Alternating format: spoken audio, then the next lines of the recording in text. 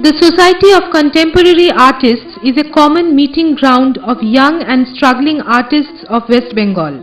It is essentially a forum in which ideas on contemporary art are exchanged and from which canvases reflecting these ideas are presented to the art-loving people of the state.